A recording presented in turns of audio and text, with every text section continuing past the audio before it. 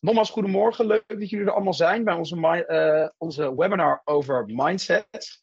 Een methodiek waar wij met het Talent Institute heel erg enthousiast over zijn. En eigenlijk het laatste jaar veel mee hebben geëxperimenteerd en gewerkt. En wij heel graag deze kennis ook met jullie willen delen. Ehm, het is een, een methodiek die voor ons echt als een, ja, een, een, als een addition te, aan onze toolbox uh, is toegevoegd voor uh, de volgende stap in gebruikersgericht ontwerpen. en daar willen jullie graag vandaag wat meer over vertellen. En ik heb mijn collega Duncan meegenomen, die er nog meer van weet dan ik. En die gaat jullie er alles over vertellen. Ehm, voordat we beginnen, een heel kort intropraatje. Ehm, waarom zijn we hier? Onze wereld verandert eigenlijk sneller dan ooit. Uh, disruptie um, is, uh, is hot de laatste jaren. Er komen nieuwe technologische ontwikkelingen. Uh, en echt empathie hebben voor je eindgebruiker is daarin key om bij te blijven bij deze technologische ontwikkeling. Wij geloven bij de Talent Institute dat wij als nieuwe generatie best in staat zijn deze wereld van morgen te ontwerpen. En daarin een positieve verandering teweeg te brengen voor iedereen. Want wie zijn wij dan? Uh, de Talent Institute is eigenlijk de nieuwe generatie creatief talent. En wij bieden eh, UX designers, UX researchers, uh, growth hackers en innovatie experts. nou, we zijn vrij jong, we zijn erg gedreven en wij ontwerpen graag de wereld van morgen voor iedereen. Ehm, dit was alweer mijn korte verkooppraatje. Dus we gaan nu gewoon lekker ons voorstelrondje doen en dan lekker over op de inhoud.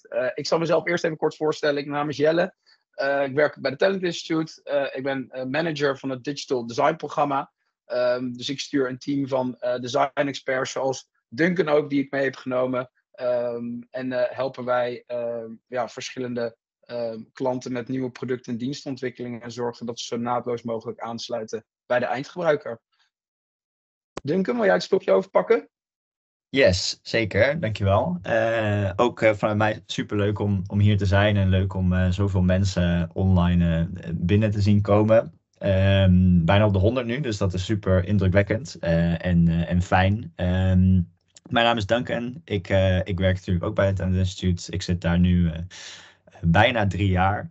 Uh, als uh, ja, ontwerper, uh, ondertussen lead, designer. Ehm, dus ik mag ook samenwerken met, met junior ontwerpers en zien hoe zij zich ontwikkelen. Dus dat is nou, ontzettend leuk.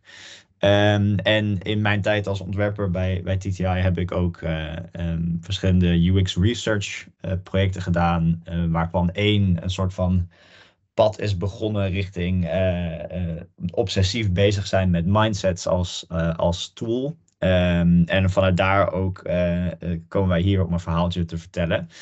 Um, dus daar wil ik graag aan beginnen. Maar voordat ik echt de diepte inga over het uh, topic, heb ik misschien een leuke ja, oefening als start. Um, namelijk voordat ik iets te veel vertel, wil ik jullie graag vragen om naar deze quotes te kijken die uit een onderzoek komen die wij hebben gedaan over tv kijken of, of schermgebruik eigenlijk. Ehm, in, in relatie tot content. Uh, en nou, we zitten met heel veel mensen in de call, dus ik zal niet vragen dat iemand uh, de microfoon opent of zoiets dergelijks. Maar uh, als jullie deze quotes lezen, dus terwijl ik schermtijd onvermijdelijk is, ben ik me bewust van de impact ervan. ik kijk zeker niet elke dag televisie. Ik voel me aangetrokken tot inhoud die intellectueel stimulerend is en artistiek rijk is. En het leren over echte gebeurtenissen en geschiedenis via een visueel medium is behoorlijk intrigerend. Als je even in je hoofd inbeeldt wat voor soort persoon zou uh, dit soort dingen zeggen, um, wie zie je dan voor je? Misschien kun je even heel kort in, in, uh, in één zinnetje in de chat schrijven uh, wat voor soort persoon je nu voor je ziet. dan, dan kijk ik even met jullie mee op mijn telefoon en dan nou, over zo'n zo'n 30 seconden kijken we even uh, wat, wat voor soort dingen we hebben gezien of gehoord. Dus ik zie de eerste een, een hoogopgeleide ouder. Iemand ziet zichzelf. Uh, een, een collega. een producer. Iemand uit een intellectueel milieu. Een man van 75, 65 plus. Millennials juist.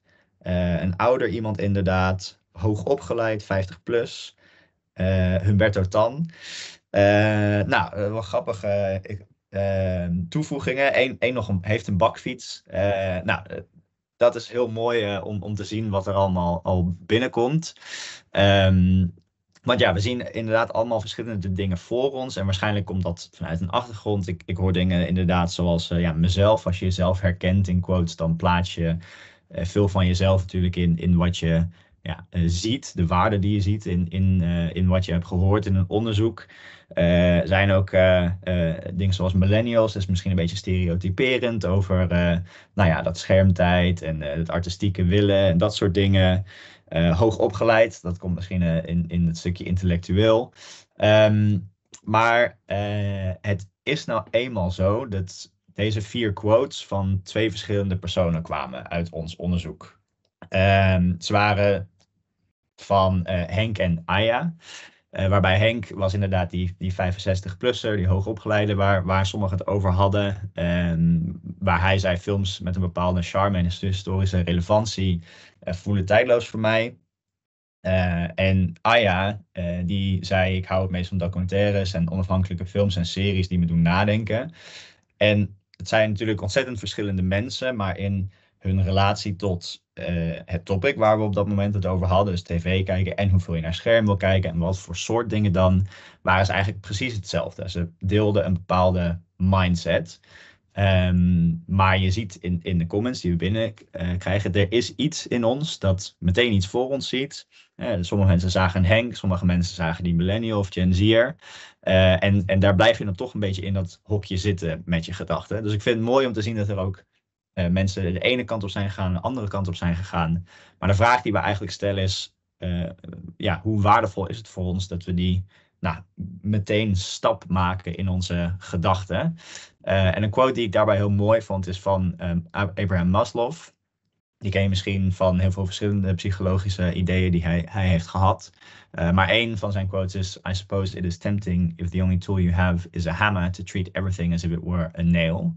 En waar dat een beetje op slaat, uh, in dit geval, pun intended, is uh, dat uh, als wij maar bepaalde tools hebben om ons onderzoek mee tot uiting te brengen, dan gaan we dat in heel veel situaties gebruiken, terwijl het misschien niet altijd even relevant is.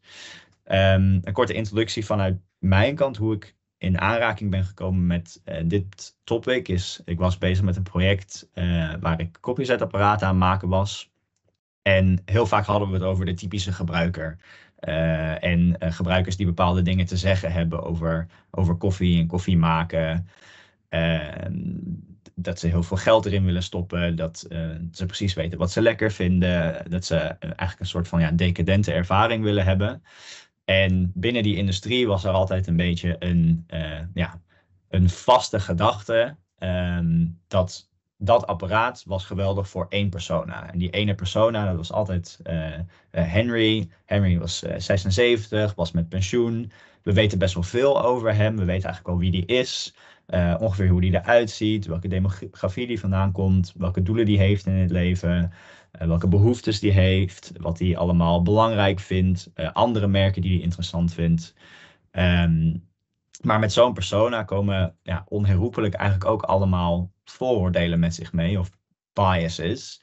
Uh, en ik zal deze niet allemaal uitleggen, want het gaat niet om elke bias los uh, herkennen en snappen wat het is. Maar het gaat erom dat elk element van een persona uh, een opening is voor een bepaalde vorm van bias. gewoon een paar voorbeelden. Vaak als we foto's uitkiezen voor een persona, dat zijn het ja, ofwel aantrekkelijke mensen of mensen die heel erg aan een, aan een sociale norm voldoen. Uh, en daarmee krijg je een halo-effect, dat je auto automatisch uh, gaat denken dat die mensen uh, goed zijn en dat ze heel veel normen en waarden delen met jijzelf. Um, als je juist ziet dat iemand er anders uitziet dan jou, dan krijg je impliciete stereotypering. Als iemand ouder is, kun je ze misschien in je hoofd simpeler gaan verbeelden dan jij zelf bent. Of juist als iemand jonger is, denk je van ja, die zijn meer onervaren dan ik. Dus die moet ik ook simpeler benaderen of zoiets dergelijks. Um, er komt heel veel ja, automatisme in ons op. Uh, terwijl, ja, misschien is dat helemaal niet nodig. Uh, misschien dacht je wel aan Henry met, met uh, dit product, maar Jessie zou net zo goed dezelfde mindset kunnen hebben. En we zouden haar ehm, met, het, met hetzelfde product heel gelukkig kunnen maken. Dus wat is dan de waarde van eh, mensen op deze manier in kaart brengen als onze relatie met producten en diensten eigenlijk het resultaat is van onze eigen waarden en de context waar we in leven en niet van onze demografie. Dat is een beetje het vraagstuk waar we mee aan de slag gaan. En wat het probleem dus ook is, is uh, ja, vooroordeel of bias. Uh, zorgt ervoor dat we inzichten mislopen en gebruikers mogelijk uh, teleur kunnen stellen in ons proces. Um, een beetje theorie om te beginnen over cognitive bias. Um, wat is dat dan precies? Het is de neiging die we eigenlijk allemaal als mens hebben om op een irrationele manier te handelen uh, vanwege een beperkt vermogen dat we hebben om informatie objectief te verwerken in onze gedachten. Um, cognitive bias is een heel groot onderzoekstopic. Er zijn al meer dan 180 uh, bewezen biases uh, out there in de wereld. En die gaan we ook niet allemaal behandelen, want dat is een volledige uh, ja, studie aan zich. Um, maar het is mooi om te zien dat er bepaalde vlakken zijn uh, waar die biases met elkaar, wat, met, wat met elkaar gemeen hebben. Namelijk dat je te veel informatie kan hebben en niet weet hoe je dat op een bepaalde manier kan verwerken. Dat de informatie of de data die je hebt niet genoeg betekenis heeft. Dus dat je juist niet diep genoeg gegaan bent. Dat je dingen uit jezelf moet aanvullen. Um, in, in, in, ons werk herkennen we denk ik allemaal dat we soms uh, snel moeten handelen en niet de tijd hebben om echt de diepte in te gaan of te snappen wat we zien en horen bij, uh, bij onze gebruikers. Uh, en als we heel veel hebben gehoord, weten we soms niet wat is belangrijk geweest en wat, wat moeten we onthouden van die sessie. is er iets gebeurd tijdens een, tijdens een sessie met een gebruiker waardoor ik dat stukje van het gesprek meer onthouden heb dan iets anders wat voor hun misschien ook heel belangrijk was.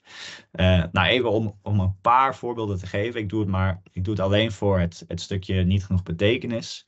Uh, maar zodat jullie een beetje een gevoel hebben van wat voor soort dingen kunnen er dan uh, gebeuren bij ons. Nou, de eerste kennen jullie misschien wel, de outgroup bias, outgroup homogeneity bias. Is de neiging die we hebben om mensen uit een andere groep dan wij zelf um, intern meer lijkend op elkaar te zien. dus een groep die wij niet zijn, die van zichzelf heel divers kan zijn uh, en uniek kan zijn, zien wij als meer gelijk aan elkaar dan ze eigenlijk zijn. Omdat ze met z'n allen net iets anders zijn dan wij. En dat is dan heel lastig bepalen van hoe, hoe diep kan ik dan uh, die, die groep snappen. En tweede is de group attribution bias. Dat verwijst naar de neiging van mensen om een beslissing van een andere groep te gebruiken om overeenkomstige meningen aan, aan die leden toe te schrijven. Terwijl in een andere groep kan, kunnen er allemaal verschillende motivaties zijn geweest om een bepaalde keuze te maken. Uh, alleen omdat ze een bepaalde keuze maken samen, betekent niet dat ze dezelfde normen en waarden daarachter dragen. Uh, en dan de laatste, confabulation, die heb ik erbij gezet omdat ik het vooral een grappig woord vind. Um, maar het is ook wel een hele grote in, in, ons, uh, in ons werk. Uh, het is de neiging die we hebben om nadat we een beslissing hebben gemaakt, misschien herken je dat wel in onderzoek, um, die te gaan rationaliseren. Dus ik, ik heb dit ge, ge, gekozen. En dan na de hand te zeggen, ja, maar dat is ook wel logisch, want ik zag ook wel drie mensen die dit zeiden. Ik, ik, ik heb ook wel dit gehoord tijdens een gesprek. Uh, terwijl misschien kwam die gedachte ergens heel anders vandaan. En het is ook echt een verschrikkelijk moeilijke, want ja, je weet van jezelf niet of je iets volledig objectief aan het rationaliseren bent. Dus nou, een paar biases om, om dan te snappen hoe, hoe diep zit dit nou eenmaal in ons. En, uh, en waar, we, waar gaan we vandaag verder nog mee aan de slag. Um, dan geef ik nu even over naar Jelle. Um, en dan gaan we het hebben over mindsets.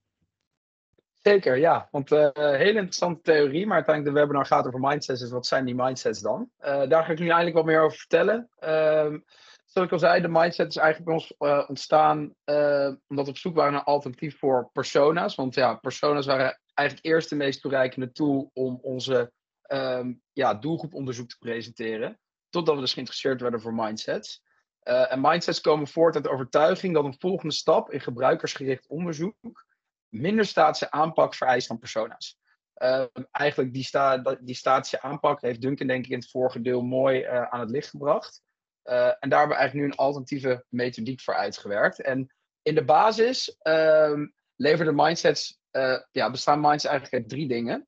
Uh, de eerste is gedrag, gedragsgerichte benadering. En dit is denk ik voor de meeste UX-researchers of onderzoekers aan zich in de zaal niet onbekend. Ik denk dat goed gedegen doelgroeponderzoek altijd, um, altijd een gedragsgerichte benadering nodig heeft. Dus vraag uit gedrag wat heeft plaatsgevonden. Uh, en niet op basis van een hypothetische situatie, maar vraag echt naar geleefde ervaringen en hoe mensen dat hebben beleefd. Want dan kom je tot de echte inzichten en betrap je mensen op gedrag wat ze echt hebben vertoond en een emotie daarachter. Um, is uh, algemeen, is eigenlijk gewoon best practice in UX-onderzoek, maar staat hier echt de grondslag voor je mindset. een belangrijk onderdeel voor het ontwerp van je mindset is dat het gericht is op waarde en context. Dus mindsets zijn afgeleid van de waarden en emoties die iemand heeft richting een bepaalde product of dienst binnen een bepaalde context. daarmee wil ik eigenlijk ook zeggen dat iemand heeft niet één mindset. Iemand kan meerdere mindsets hebben in een kortere periode. Want dat kan constant wisselen. Je mindset richting product of dienst kan door de week anders zijn dan in het weekend bijvoorbeeld. Dit maakt ze eigenlijk veel dynamischer en veel realistischer dan best wel een, um, ja, een statische persoon. die eigenlijk iemand best wel snel in een hokje duwt van dit is hoe jij bent en dit is hoe jij eigenlijk altijd bent. Um, Ten slotte is het onbevoordeeld en inclusief. Uh, omdat een mindset uh, de, in de kern het gaat om iemands attributen, waarden en context, uh, blijven eigenlijk weg van ja, vaak onnodige, onnodige uh, persoonsgegevens, zoals demografie, leeftijd, etniciteit uh, en geslacht. Want iemand met al deze kenmerken, die allemaal verschillend zijn, kan dezelfde mindset hebben richting een product of dienst. Ehm, en daardoor zijn ze eigenlijk veel onbevoordeelder en veel inclusiever. Nou, hoe bouw je dan eigenlijk een mindset op van begin tot eind? Ik denk belangrijk hier is het doen van grondig onderzoek, grondig exploratief onderzoek. En het doorspitten van onderzoek wat je wellicht al nu op, op kantoor op de plank hebt liggen. Uh, dus veel onderzoek doen. Hartstikke leuk natuurlijk wij als onderzoekers. Um, en hoe bouw je nou eigenlijk een mindset op? Een mindset is eigenlijk constructie van menselijke attributen. Uh, hier plotten we eigenlijk mindsets op. En deze komen voort uit onderzoek. Um, om een aantal voorbeelden te geven, iemands een attribuut kan zijn iemands zelfvertrouwen richting een product of dienst. Het vertrouwen die iemand heeft jegens een bepaald merk. Uh, iemands behoefte aan inclusie. Iemands behoefte aan uh, deskundigheid van een product of dienst. Wanneer je deze attributen hebt, uh, hebt gesignaleerd vanuit de analyse van je onderzoek, probeer je eigenlijk um, een, een, een five-skill rating te creëren van de verschillende attributen op basis van een categorie. Dus stel, ik zou iemands vertrouwen richting een product of dienst nemen, dan is het uiterste van iemand is erg bang uh, om, om te gaan interacteren. En aan de andere kant van het spectrum kan iemand heel erg overmoedig zijn. Maar als iemand helemaal aan de rechterkant van het spectrum zit, betekent dat ook niet per se dat iemand dan perfect is om uh, al heel goed in staat met een product om te gaan. Dus het is hierin ook heel belangrijk om te kijken naar de impact van extreme. Hè? Want um, een productontwerp voor iemand die zelfverzekerd is, of een dienst uh, inrichten voor iemand die zelfverzekerd is, is anders wanneer iemand overmoedig is. En je misschien iemand zelfs een beetje in bescherming moet nemen in zijn klantreis. Omdat hij anders misschien een verkeerde keuze gaat maken. Nou, hoe kom je dan tot deze inzichten? Um, wij hanteren uh, vaak een, een, groot exploratief onderzoek van om en nabij 35 exploratieve interviews. Minimaal van een uur, misschien zelfs wel iets langer als het kan. Um, waarbij je echt focust op iemands um, ervaring die hij of zij heeft gehad in het verleden. Waarbij je eerst gaat inzoomen op een bepaalde situatie uh, die iemand heeft gehad. Goed doorvragen. En het doel is ook echt begrip te gaan krijgen voor de mensen achter het gedrag. Wat is de emotie die iemand heeft ervaren toen hij dit beleefde? En waar komt die emotie vandaan? En de truc van onze onderzoekers is om daar echt goed op door te vragen. Want dit gaat je alleen maar helpen om eigenlijk een veel tastbaarder en realistischere mindset te creëren. Um, met wie praat je dan wanneer we met 35 uh, mensen het gesprek aangaan? Wij proberen eigenlijk per groep, per segment, zou je eigenlijk 8 à 10 mensen willen spreken. Uh, om echt overlappende attributen en, en inzichten te gaan zien over verschillende segmenten, die je later ook weer gaan helpen in het ontwerpen van je mindset.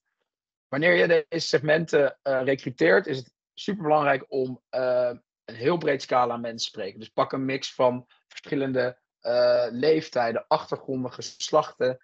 Om zo een breed palet aan mensen te spreken. Omdat je dan veel bredere mindset eigenlijk kan bouwen die relevant is voor een bredere groep mensen. Uh, en je anders ook gewoon een, het risico loopt dat je bepaalde inzichten en bepaalde mensen eigenlijk buiten kijk laat. Nou, hoe ga je te werk nadat je, terwijl je een interview aan het doen bent? Vaak hanteren wij altijd dat één iemand uh, het interview uitvoert. Dus echt de mensen in de ogen kan aankijken en alleen maar bezig zijn op het gesprek. En de note-taker die moet eigenlijk gewoon alles opschrijven wat opmerkelijk is. Uh, bijna woord voor woord zou ik zeggen. Uh, maar schrijf alles op wat opmerkelijk is in het interview. Dit gaat je alleen maar helpen in je analyse en ook hele bijna niet tastbare dingen uh, signaleren in je gesprek. Um, focus op gedrag, uh, net als bij ieder ander onderzoek, zoals ik net al zei. Ik denk dat dit ook de basis is van goed gedegen kwalitatief onderzoek. Wanneer je al deze inzichten hebt, ga je eigenlijk over naar je analyse. Uh, en ga je op zoek naar uh, clusters. En ga je al eigenlijk die eerste attributen vormen die ik al eerder uitleg. Wat zie je ontstaan? Welke uh, gedragspatronen zie je ontstaan? Nou, wij hebben dit natuurlijk voor koffie gedaan. Dus um, wij signaleerden op een gegeven moment dat de rol die koffie speelt in iemands leven, dat is bijvoorbeeld een attribuut. Uh, en een rol die dat koffie speelt in iemands leven kan zijn, nou in dit geval fuel. Dus eigenlijk iets wat ik nou een soort pick-me-up voor in de ochtend om snel de deur uit te gaan. Dat maakt me eigenlijk niet zo gek voor uit. Als ik maar uh, de cafeïne en de bittere smaak van koffie krijg. Tot aan pleasure. Uh, waar iemand die echt een fijnproever is en waarbij koffie nou, live is eigenlijk. en zo ga je eigenlijk op zoek naar verschillende attributen in je onderzoek. En wanneer je die denkt te hebben gedefinieerd, ga je eigenlijk weer terug naar je analyse per respondent en ga je kijken of je paden kan uitstippelen. Of je verbanden ziet, eigenlijk paden zien ontstaan binnen die attributen, die eigenlijk als uh, startpunt zijn van je mindset. Want dit zijn de overkoepelende attributen die je terugziet in je mindset. Um, en wanneer je dit hebt gedaan, kan je hem eigenlijk weer terugpakken op je verschillende respondenten, waarbij je eigenlijk deze paden hebt uitgestippeld.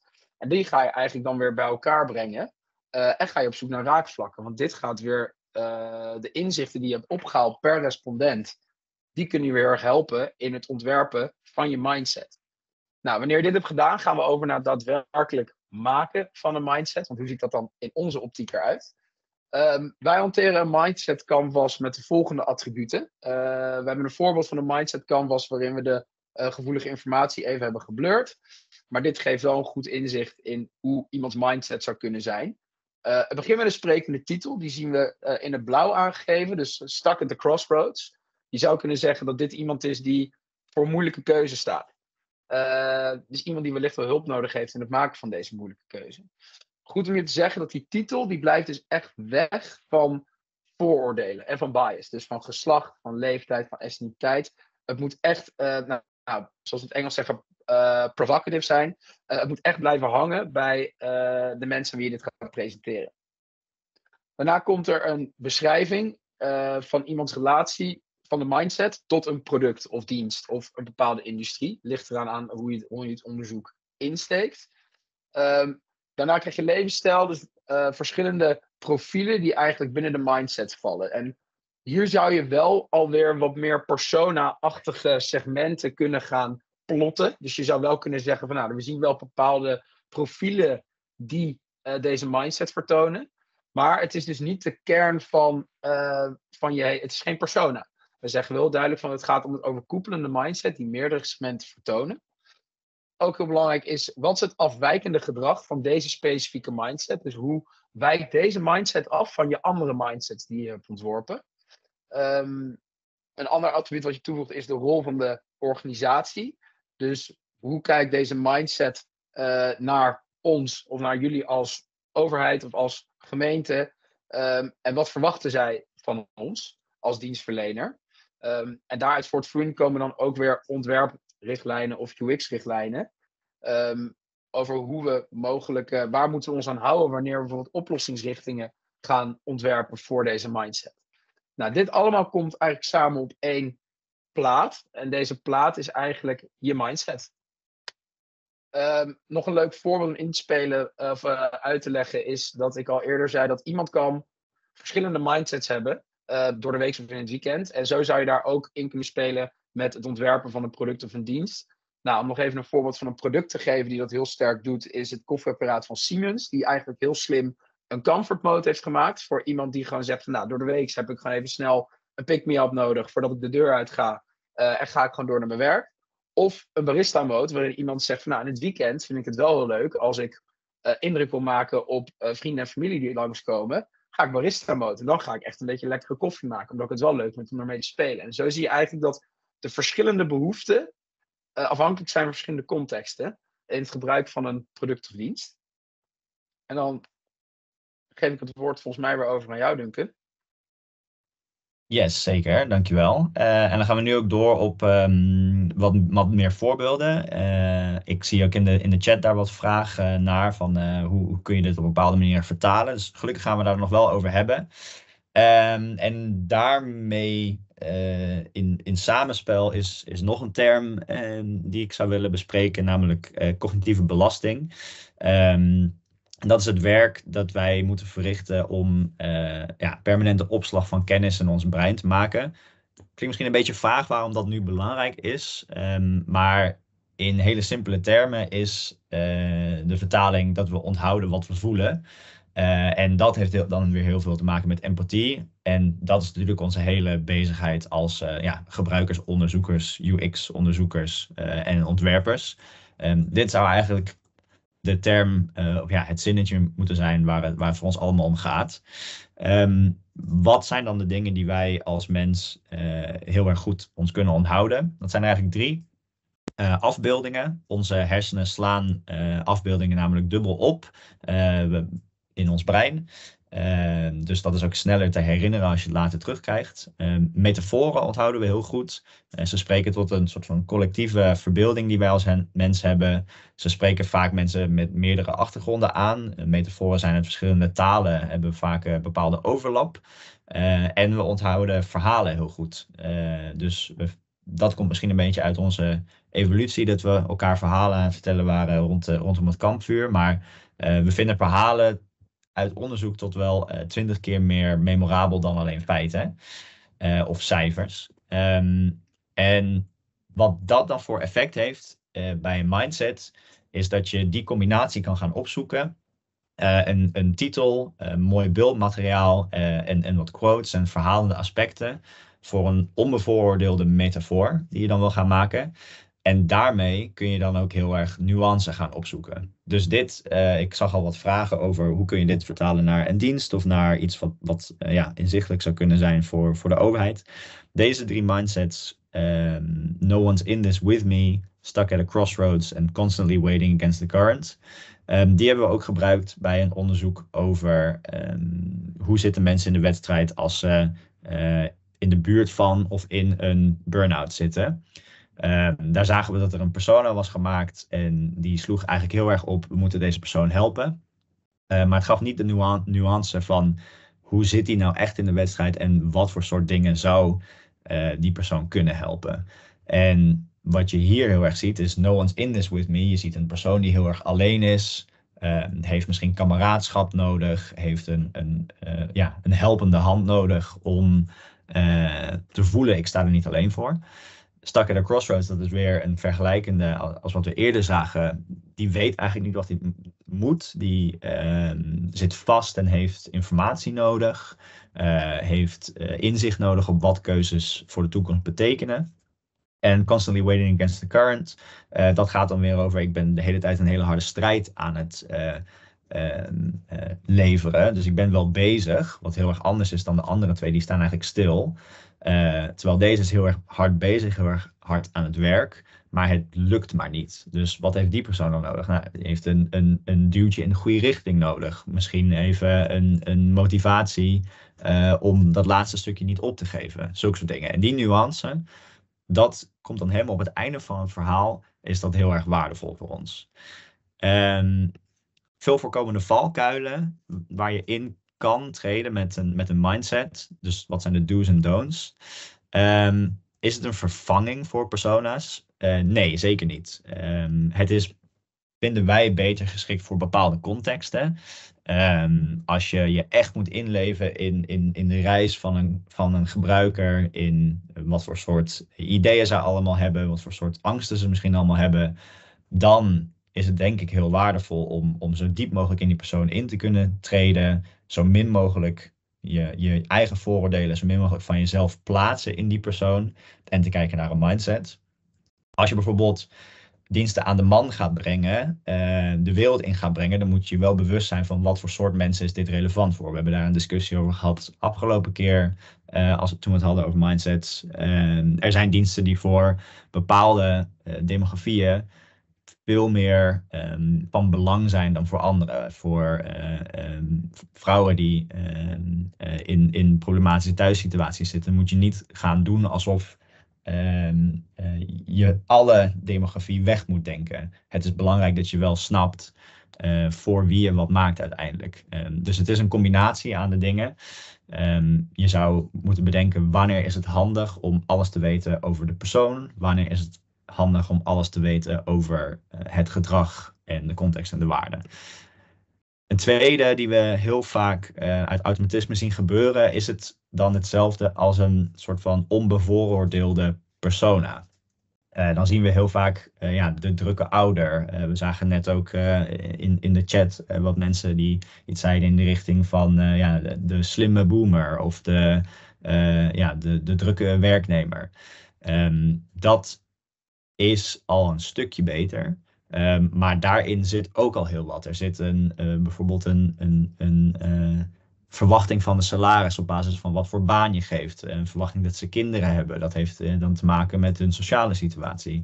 Dat wil je eigenlijk allemaal weghalen als het gaat om puur kijken naar de relatie tot de dienst of, of, of instantie. Um, dus je moet echt op zoek naar metaforen en gevoelens die je graag wil laten zien. Uh, nog eentje, we, zeiden het net uh, ook al, maar het koppelen van één mindset aan één persoon. dat is nou eenmaal niet waar. We ervaren allemaal meerdere mindsets binnen andere contexten. Nu gaat het weer even over koffie, maar om het te relateren aan, aan een dienst. Je, je zit heel erg anders in de wedstrijd als je dezelfde persoon bent die een, een slecht jaar heeft gehad en je belastingaangifte moet doen, versus iemand die een heel fijn jaar heeft gehad. Um, en uh, om één persoon te kaderen in, een, in, een, in één mindset van die gaat altijd zo tegenover de overheid staan, tegenover diensten staan, dat is ook een valkuil. Want uh, over een maand zouden ze heel anders in de wedstrijd kunnen staan. Sterker nog, vanavond zouden ze heel erg anders, heel erg anders in de wedstrijd kunnen staan. Um, dus wat kunnen mindsets hopelijk een team brengen. Een meer holistisch ontwerp van diensten, uh, omdat je meer snapt wat er achter de persoon zit. Um, en daarmee kun je hopelijk meer relevant uh, product- of dienstontwerp uh, ja, genereren. Hopelijk bereik je dan ook een breder publiek, omdat je meer de echte gedragingen die er zijn in de wereld hebt kunnen bespreken tijdens je, tijdens je sessies samen intern.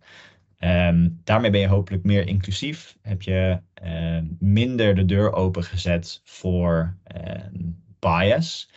Um, daarmee kun je ook meer kansen gaan verkennen. Misschien kom je tot ideeën die je eerder niet hebt, uh, niet hebt gezien of niet hebt gedacht dat die relevant zouden zijn voor genoeg mensen om, om moeite in te stoppen.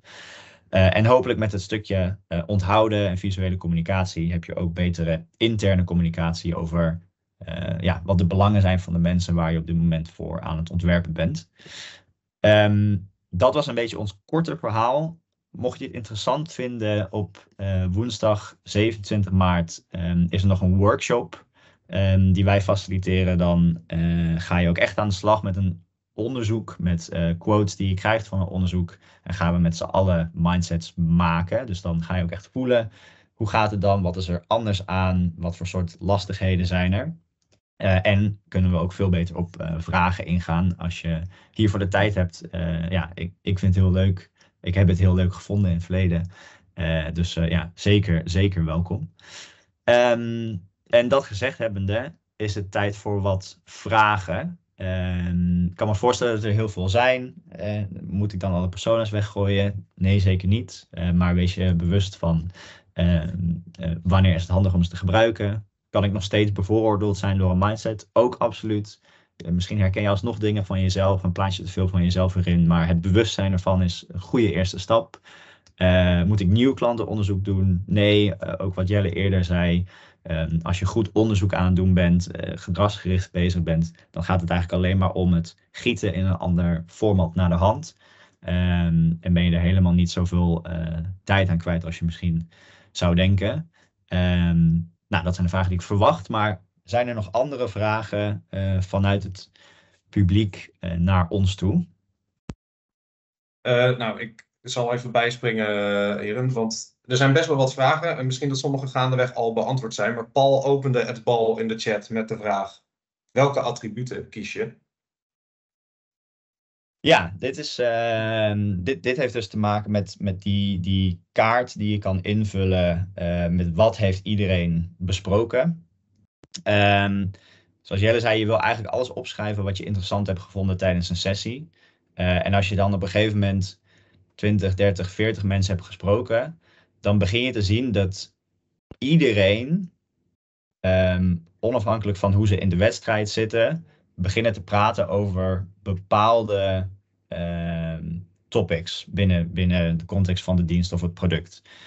Um, dat wil niet zeggen dat ze het allemaal met elkaar eens zijn, maar ze hebben allemaal een mening over een bepaald attribuut. Dus wat wij zagen was dat uh, als je heel veel mensen gaat spreken over uh, cafeïne of koffiegebruik, ehm, iedereen heeft dan op gegeven moment een mening over wat cafeïne voor ze betekent, wat voor rol het in hun leven speelt. Sommige mensen vinden het helemaal niet fijn, sommige mensen vinden het wel heel fijn.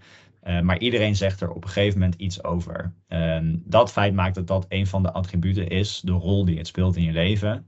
En het spectrum dat eronder komt, dat bepaal je dan later. Uh, iedereen begon op een gegeven moment te praten over in hoeverre het ze uitmaakt uh, dat het product fair trade is, dat, het, niet, dat er een eerlijke prijs was voor de boeren. Um, dus een soort van ja, bewustzijn, duurzaamheid, eerlijkheid zat er ook bij iedereen in. Sommige mensen zeiden van ja, maakt me helemaal niks uit. Ik wil gewoon de goedkoopste van de HEMA. Sommige mensen zeiden maakt me heel veel uit. Ik wil echt weten waar het vandaan komt. Dus het attribuut dat erboven hangt, die eerlijkheid, die zagen we. Iedereen heeft het op een gegeven moment erover waar ze precies dan op dat spectrum landen, dat is anders. En, en zo ga je te werk. Je gaat zoeken naar de topics die iedereen uh, weet dat dat, dat speelt en uh, er iets van vindt. En dat is denk ik het, de, hetgeen waar je het meeste tijd in gaat stoppen, ook uh, in, in, de, in je analysefase. Je gaat heel veel kijken naar wat heeft iedereen gezegd en wat vind ik daarvan, kan ik daar een logisch verhaal van maken het is in die zin ook wel echt gewoon een zoektocht, toch? Ja, in je, in je analyse. Je moet echt, uh, de attributen moet je echt zelf, uh, zelf vinden door echt patronen te gaan zien in, in, in de dingen die mensen hebben gezegd, toch Duncan? Ja, zeker. Ja, zeker ja. ja. Er kwam gelijk achteraan ook een vraag binnen op attributen. Daarna kom ik ook alweer terug op de rest hoor, maar omdat we het er nu toch over hebben. gebruiken jullie daarbij de laddering techniek voor het bepalen van attributen en de waarde ervan? Uh, die komt mij niet zo in één keer uh, bekend voor. Dus als je die zou kunnen toelichten. Ik weet niet wie de vraag heeft uh, gesteld. Ik zie hier unknown user staan, dus dat helpt mij ook nog. ja, dat helpt wel. Die vraag heb ik gesteld. Eigen. ja, het is eigenlijk een hele oude techniek uit kwalitatief onderzoek. Om echt te bepalen welke elementen van een product of een dienst zijn allemaal relevant en wat de waarde daarvan is. Dus dan ga je echt de hele waardeladder af. Eigenlijk door continu te vragen waarom, zonder al te veel te vragen waarom, want dat uh, kan ook weerstand oproepen.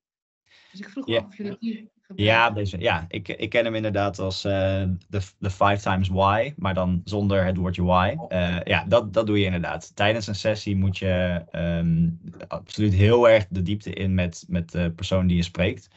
Uh, dus uh, je, mag niet zomaar zeggen van nou, uh, wat, wat, vind je dan van dit topic? Van ja, ik vind het wel belangrijk dat je dan opschrijft, het is belangrijk. Dan moet je door met waarom dan? oh, interessant dat je dat zegt. Waar, waar komt die notie in jouw leven vandaan?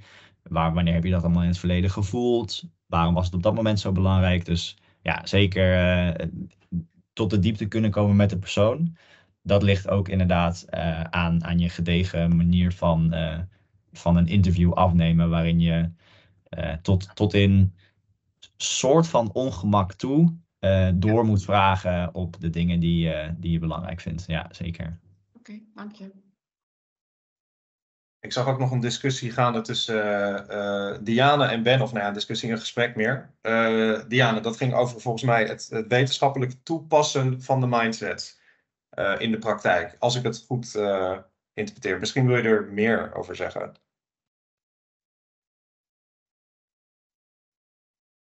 Je staat nog, ik zie je wel praten, maar je staat nog op mute, geloof ik. Oké. Oh.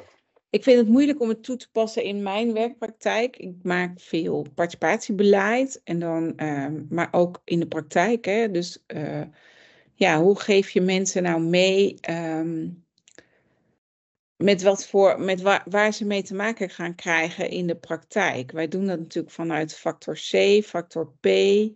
Um, en daar kijken we echt wel naar, uh, ja, wat voor mensen hebben we, waar hebben we nou eigenlijk mee te maken? Hè? Met, met welke achtergronden, gevoelens, beleven, hè, be belevenissen uh, stappen zij eigenlijk in die participatieprocessen?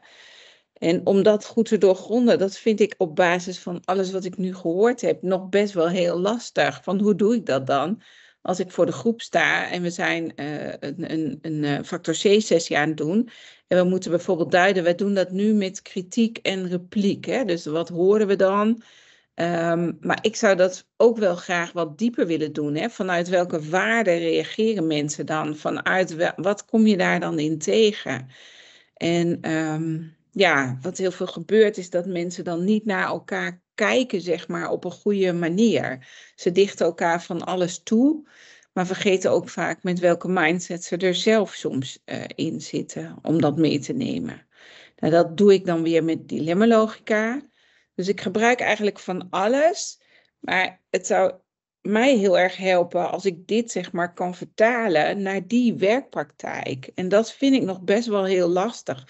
Dit is geen koekjesfabriek, zeg ik altijd. Bij koffie weet je één ding zeker, er komt koffie, maar ik weet nooit wat er komt. Ja, dus als ik het goed begrijp, zou je ook graag het uh, als een soort van spiegel willen kunnen gebruiken voor, voor mensen die nou, uh, bij, bij je langskomen om ook van jezelf bewust te zijn.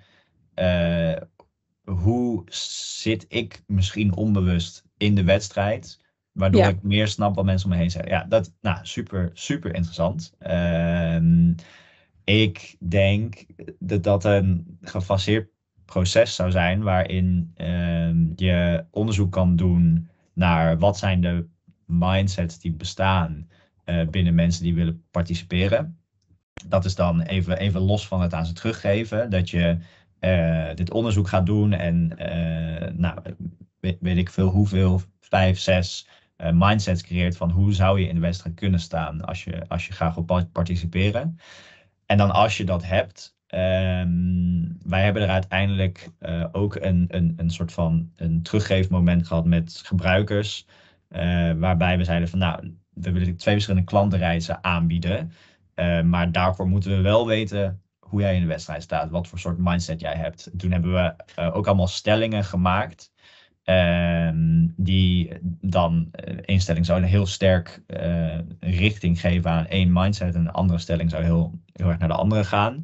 En gewoon gevraagd aan mensen van welke, met welke stelling voel je je het meest ja, persoonlijk verbonden.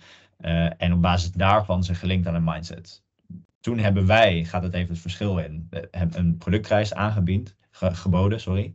Um, en in, in het geval van deze vraag zou je dan kunnen zeggen, oké, wij erkennen dan, jij zit in deze mindset, we geven jou die kaart om even te lezen, dit is wat wij als soort van begrip hebben als team, hoe jij in de wedstrijd staat. Klopt dat? Herken je hierin? Heb je hier wat aan? Uh, dus uh, je zou ja, het onderzoek gewoon aan zich kunnen doen. Dan naar mensen alleen in vorm van statements uh, kunnen geven, voel je hier wat bij. En als je daar een richting uit krijgt, ze, ze die kaart geven, zodat ze nou, over zichzelf geïnformeerd worden eigenlijk.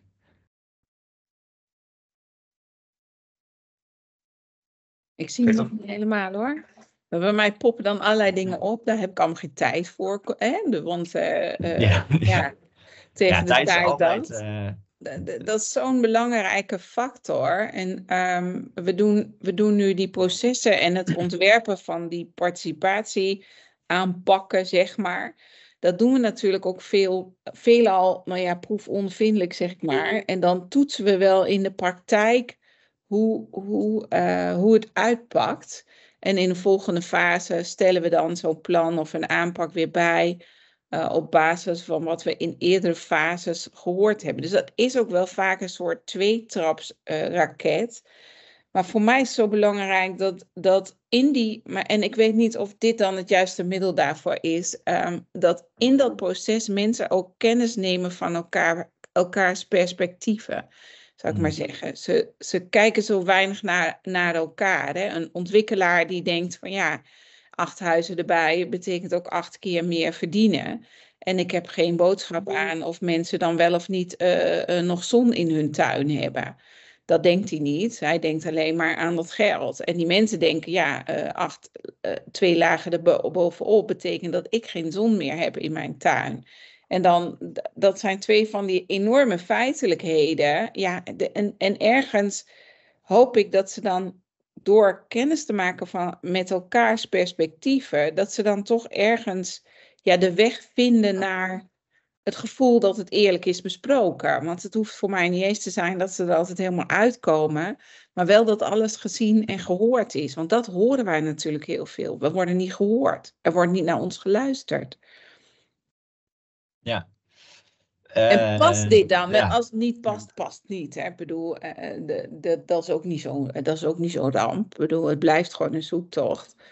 Maar ik ben wel gecharmeerd van dat dit wat meer op waardeniveau zit, eh, minder op die demografische kenmerken. We werken natuurlijk wel met BSR, hè, met die persoonlijkheidstypen, met die kleurtjes. Maar ja, kan dit dan nog iets betekenen? Kunnen we dit nog een slag dieper brengen? Ja, Ik ik denk, weet- ik denk ik dat dit inderdaad eh, het, het stukje aanraakt van het is, het is niet de oplossing voor alles. Dus ook niet dat wij nu proberen te zeggen, ga altijd maar mindset onderzoek doen en dan, dan komt het wel goed.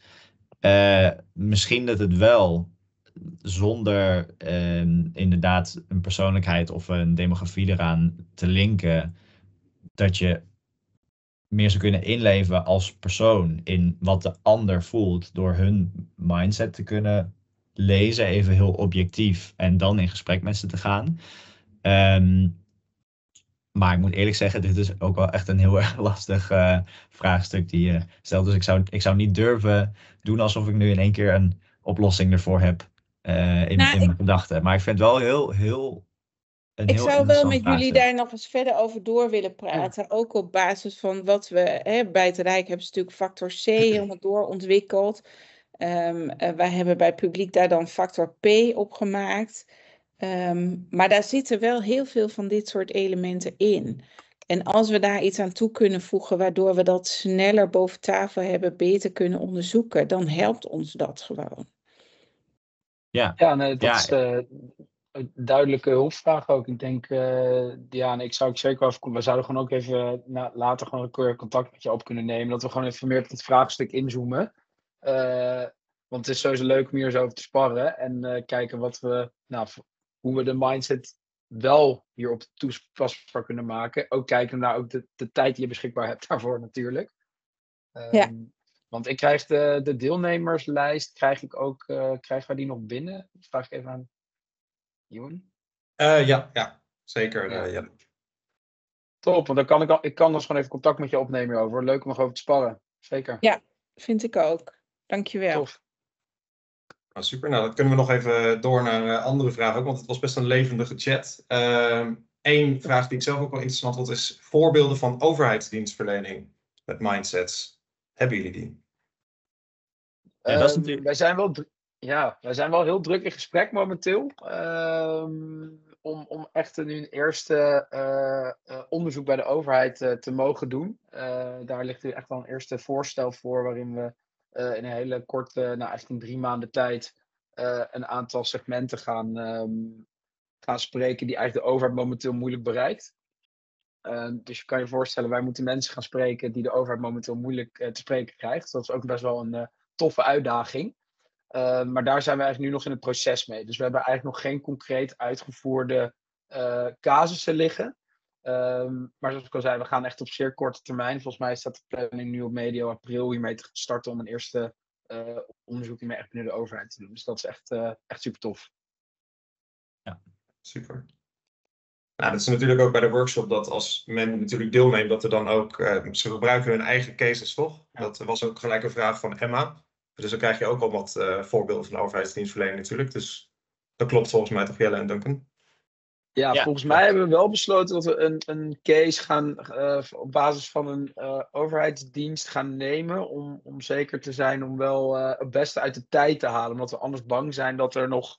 Dan moeten we heel erg ook de, de, de casussen gaan cureren.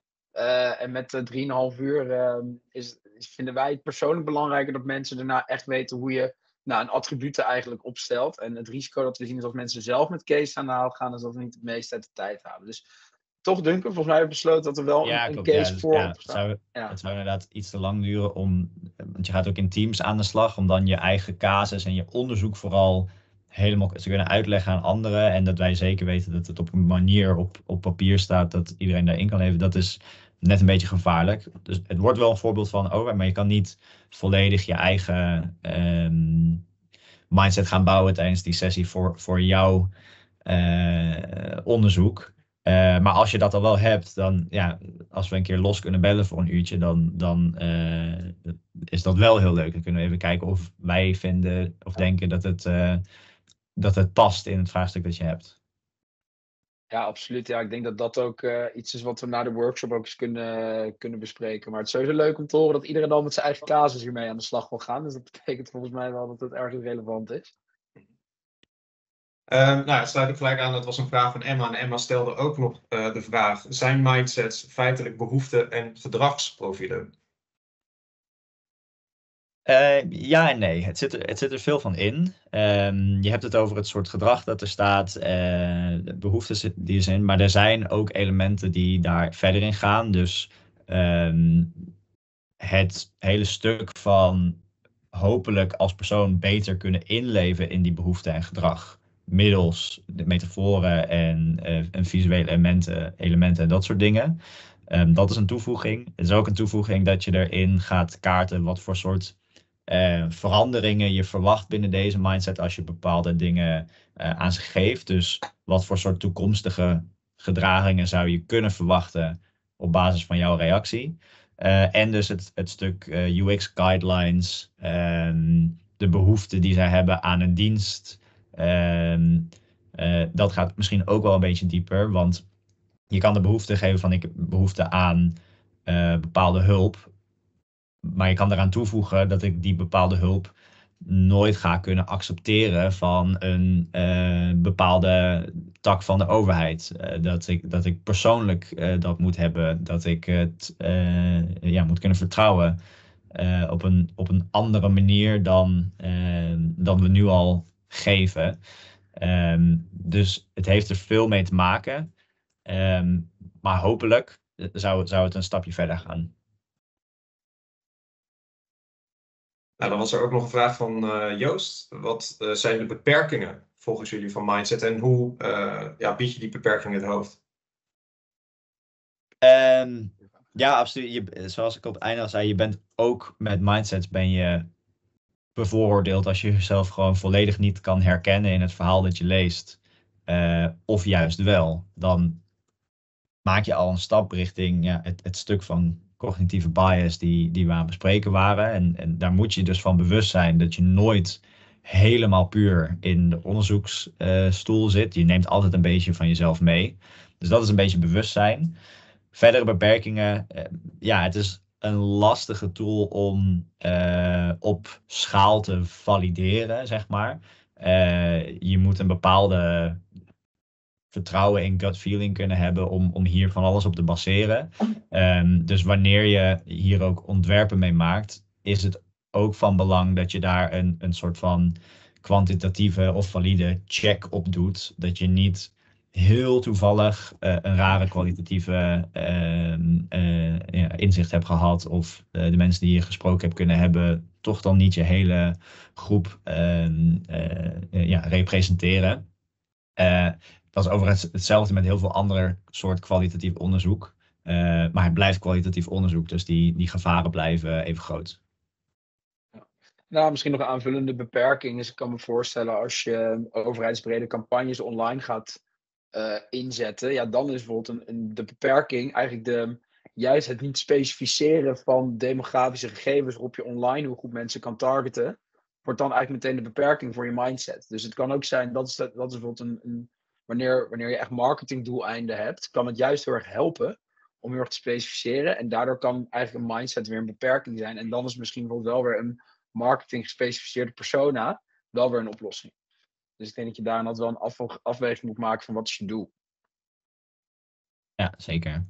En het is ook gewoon nieuw. Dus uh, uh, uh, je, moet, je moet het veel uitleggen. Je hebt een webinar nodig om te introduceren. Dus het is nieuw. Het is in 2019 bedacht door, door twee ontwerpsters uit, uit Denemarken. Ehm, dus het, het is nog niet volledig af, zou ik ook zeggen. Het heeft nog ja, meer mensen die het een interessant topic vindt nodig om het een keer uit te proberen, om feedback te geven, om het verder door te ontwikkelen. Um, dus uh, uh, ja, dat is ook, ja, je kan het zien als een, als een gevaar, je kan het ook zien als een kans. Ik, ik vind het juist heel vet dat, dat, dat er een soort van community doel is om inclusiever te ontwerpen en dat we daarmee aan de slag zijn. Um, maar het is dus ook nog niet af. Ja. Precies. Het is niet dat dit dan nu de heilige graal is van dit, dit is het antwoord op alle vragen. Nee, het kan nog zijn dat het over drie jaar dat we een, een, een attribuut of twee hebben toegevoegd of eruit hebben gehaald. Ja, moeten dat ook, denk ik, ook spelenderwijs met elkaar als onderzoekers, uh, met ons onderzoeksdoel voor ogen, altijd kritisch naar blijven kijken naar de output. Dat zeg je goed, uh, denk ik. Nou, we vliegen wel redelijk door de tijd. Maar één vraag uh, die ik jullie niet wilde onthouden voor de afsluiting was Ehm, hoe hou je eigenlijk mindsets op? Of heb je tips om mindsets op te halen bij mensen bijvoorbeeld met een laag verstandelijke beperking of die minder talig zijn? Dus nou ja, kwetsbare groepen, even voor het, bij gebrek aan een betere term. Uh, ja, een hele mooie vraag. um, ja, nogmaals, niet vanuit ervaring uh, dat, dat ik spreek, maar Eén uh, goede toevoeging is dat, dat die attributen die je uit een uh, sessie haalt, dat leg je nooit neer bij de respondent of de gebruiker zelf. je moet een gesprek voeren en dan um, ben jij met jouw team de interpretatieslag van wat betekent dit nou eigenlijk. Um, dus dat vereist ook dat je niet in je eentje ehm, aan de slag gaat. Het is altijd fijn om uh, in, in een team sowieso te interviewen. Dat is sowieso een, een, uh, uh, een ding van kwalitatief onderzoek aan zich. Um, maar je kan ook experts uit het topic waar je mee bezig bent meenemen naar zo'n gesprek. Dan misschien wel als stille meedenker en niet als ja, interviewee. Uh, maar die kun je laten meedenken over hoe je vragen stelt. Die kun je laten meekijken om, om daar een begrip van te krijgen. En voordat je dan na de hand gaat bespreken, kun je los van elkaar, uh, dus een, een expert en jij als onderzoeker, uh, kun je die, die kaart maken, die wandeling zeg maar over de attributen maken. En dan kijken of je het met elkaar eens bent.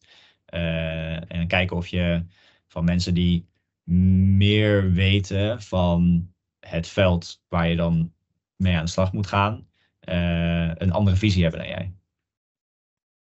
Ja, en ook iedere moeilijk bereikbare groep vergt denk ik ook weer misschien zijn eigen identieke aanpak. Um, ik vind het wel een heel mooi vraagstuk. Het is eentje die mezelf momenteel bezighoudt. Ook in het voorstel naar. Uh, voor, nou, dit is dus namelijk ook het voorstel waar we nu momenteel mee bezig zijn.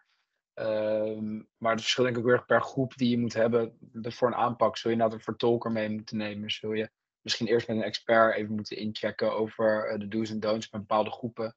Um, ja, dat verschilt misschien een beetje per groep ook.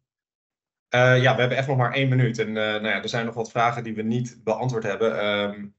Misschien dat we dan toch moeten afspreken om daar in de terugkoppeling nog even zoveel mogelijk op uh, terug te komen. Ja, Dank en Jelle, wil ik jullie eigenlijk nog het laatste woord geven om, uh, om af te ronden vandaag. Ja, vanuit mij zou ik zeggen, jongens, heel erg bedankt uh, dat, uh, dat jullie in grote getalen zijn komen opdagen. En echt tof om te zien dat het, nou, dat het hout snijdt. Hè? En dat het gewoon een gesprek start ook. Dat ik denk dat alle vragen in de chat daar ook van getuigen. Dus dat is gewoon echt tof om te zien. En zo zien wij het zelf ook echt. Als een gesprekstarter om te kijken van, hey, volgens mij kan het anders. en of dit nu de heilige graal is, weten we niet. Maar het is wel, het is, het is gewoon tof om te zien dat het zoveel losmaakt. En uh, ja, als mensen hier meer over willen weten, um, jullie kunnen ons altijd gewoon uh, één op één een bericht sturen. Als goed worden onze contactgegevens nog gedeeld. Ehm, wij denken graag mee over, over dit soort vraagstukken. Ik vind het gewoon echt, eh, echt tof om hiermee bezig te zijn. En eh, ja, voor als je het nog niet hebt gedaan, eh, meld je ook aan voor de workshop, zou ik zeggen. Ehm, Ja, wel laatste. Hopelijk, hopelijk tot ziens. ja, Ja, ook van mij. Het is super leuk om, om eh, iedereen eh, gezien te hebben, gehoord te hebben. De vragen eh, ehm, zijn heel erg prikkelend. Dus eh, ja, het liefst zie ik zoveel mogelijk mensen in persoon terug. En, eh, en, en gaan we er verder mee aan de slag. En, en bedankt voor de aandacht. Het is echt heel erg vlijend dat er zoveel mensen willen luisteren. Ja, dank en Jelle, ongelooflijk bedankt voor jullie mooie verhaal vandaag. En nou ja, hopelijk komt er veel moois uit na deze webinar voor iedereen.